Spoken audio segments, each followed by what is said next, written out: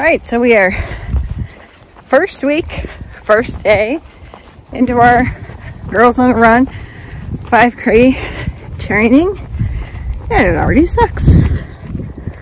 So, whew.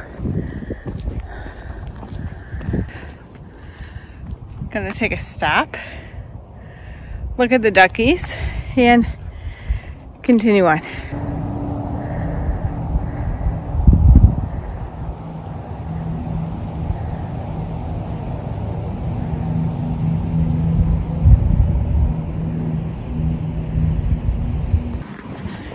So the goal for today is 25 minutes of a walk, run, and tomorrow go for a half hour, and then after that, Wednesday, 25 minutes, rest Thursday. So we'll see how it goes.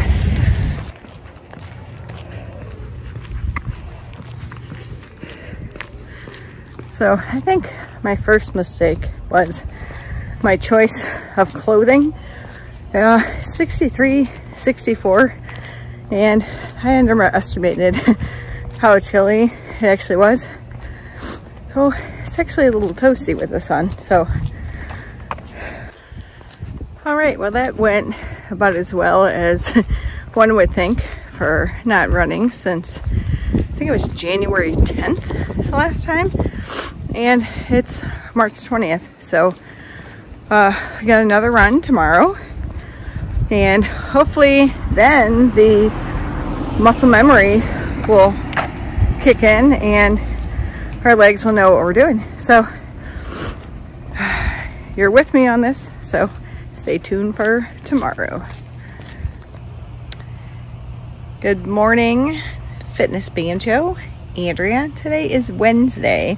So Monday, I talked about doing another run on uh, Tuesday, but figured not running for three months, probably not the smartest thing to do. My legs were very sore and my hips uh, were very tight. So I decided yesterday should just be uh, stretching and doing some floor exercises and got a little help from Lorelai. So uh, yeah, today gonna try for, um, we're gonna try for 30 minute run, see how it goes. But yeah, hopefully easier than Monday. So might as well get it over with.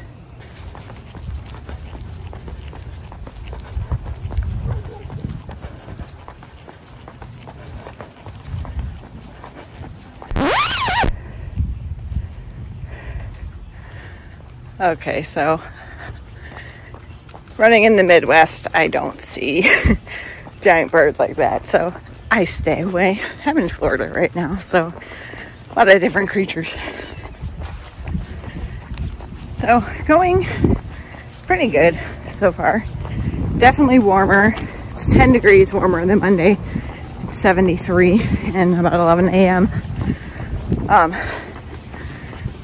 legs were pretty stiff at the beginning but once I started moving, they kind of got a little better. So, whew.